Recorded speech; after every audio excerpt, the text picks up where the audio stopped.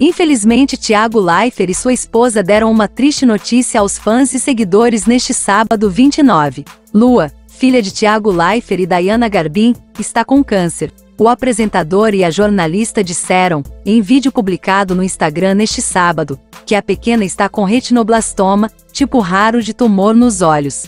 É um câncer que acontece nas células da retina. Elas acabam tendo um crescimento desordenado e formando tumores. No caso da nossa filha, é bilateral. É muito difícil descobrir esse câncer, e é por isso que estamos gravando esse vídeo, explicou Garbin. A jornalista disse que eles tiveram sorte de descobrir, porque Tiago percebeu um movimento irregular nos olhos da filha. A lua sempre enxergava tudo e a gente nunca imaginou que algo estivesse impedindo a visão dela. Só que o Tiago começou a perceber um movimento estranho no olhinho da lua, contou ela. Eles disseram que a menina passa por tratamento há quatro meses, durante os quais ela fez quatro sessões de quimioterapia. Tiago contou que Lua está com o grau I da doença, que é o máximo, mas enxerga bem com o olho esquerdo. Já o direto precisa de mais cuidados durante o tratamento. Segundo o apresentador, eles optaram por revelar o diagnóstico da filha para alertar famílias com crianças pequenas. Depois da última químio, a gente começou a mudar de opinião.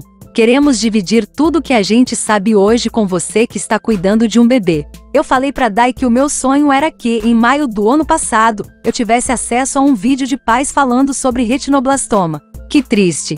Comente.